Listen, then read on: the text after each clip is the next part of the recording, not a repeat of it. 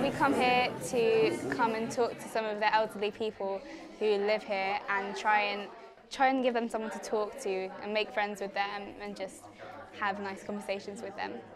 Yeah, yeah. I mean, I worked in um, C&A Marble Arch. Oh, did you? Yeah. We met um, this lady upstairs who went to our school when she was younger and she asked for us to come meet her.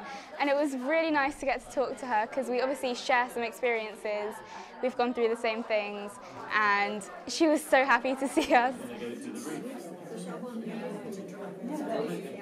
So I met this um, guy called Ken and he told me like a lot about his childhood and he said that he joined the navy during the war and he like met like loads of different types of people who would like ask for cigarettes and stuff and he really enjoyed it. He said he really likes walking and going outside a lot.